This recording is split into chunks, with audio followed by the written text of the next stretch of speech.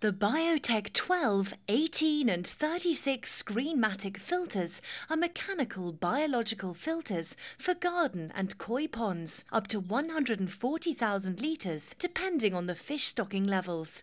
The Screenmatic system removes all coarse debris from the water prior to entering the biological elements of the filter giving exceptionally low maintenance. The screen automatically rotates every 30 minutes and deposits the collected debris into a collection tray below. This can be easily removed and emptied when required. The foam media below has a very high surface area, allowing for rapid colonization of essential filter bacteria, which then leads to a chamber filled with zeolite and Oase grants a clear water guarantee on the filters when used correctly.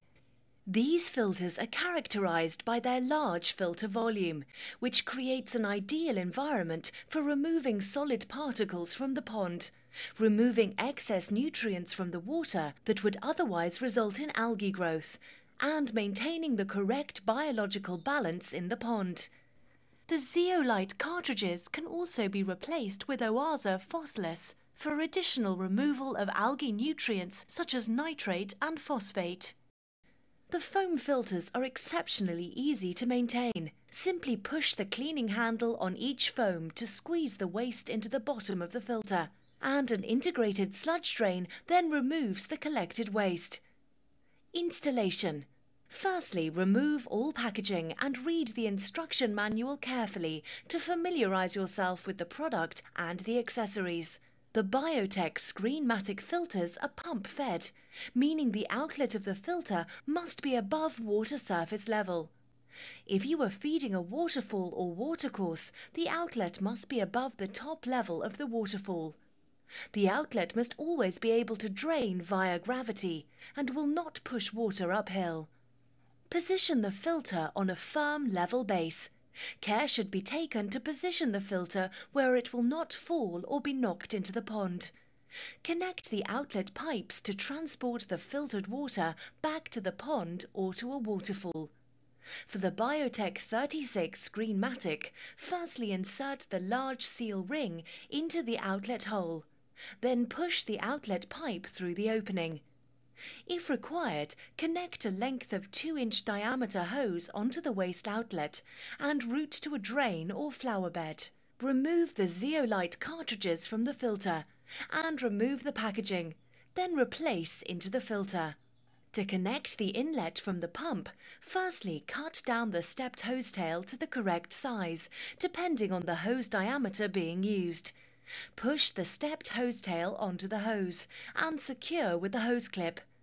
Place the flat gasket over the hose tail thread, then push through one of the inlet holes on the front of the filter.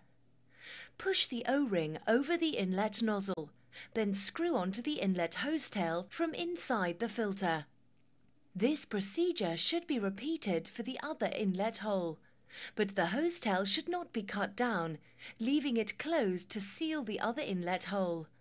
If you are using a Bitron ultraviolet clarifier, the two outlets of the Bitron will fit into the two inlet holes of the Biotec filter in place of the two hose tails. Route the cable for the Screenmatic motor through the filter wall and secure using the rubber seal where it passes through the wall of the filter. Connect the cable to the transformer and screw together. Ensure the waste outlet slide valve is located in the down position then switch on the pump and check for leaks. Adjust the water flow using the water distributor on the top of the filter so that the water flow meets the first third of the screen. Connect the power supply to the Screenmatic motor transformer and check for operation. Please note the screen will automatically rotate every 30 minutes. If required, add a bacteria booster to the water in the filter box. The biological activity in the filter will take several weeks to reach its full biological effect, so this should be considered if the pond will contain fish. Always consult a qualified electrician when installing any electrical equipment in your garden. And remember to disconnect the power supply to any pond equipment before entering the water or performing any maintenance tasks on your pond and pond equipment. Maintenance Before performing any maintenance on your pond equipment, always disconnect the power supply prior to commencing any work. For regular maintenance, the debris collection tray below the Screenmatic mesh should be removed and emptied when required.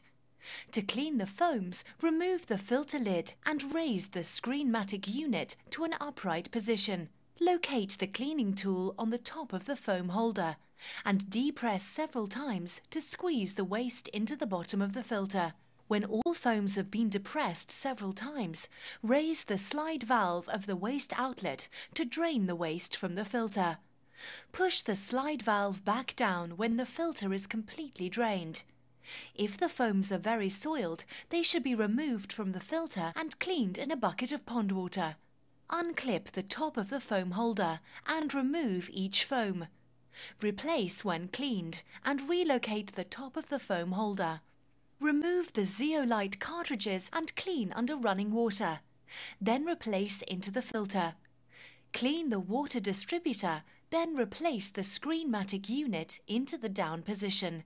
To clean the Screenmatic unit, depress the blue clips on either side of the screen and remove the screen. Unscrew one side of the screen using the blue locking nuts and remove the side of the screen. The mesh screen can now be removed and cleaned under running water. Clean the brushes of the screen, then replace the mesh. Replace the side of the screen unit and secure with the blue locking nuts. Replace the screen onto the holder and ensure the locking clips locate onto the base. Reconnect the power supply to the pump and Screenmatic motor and check for operation.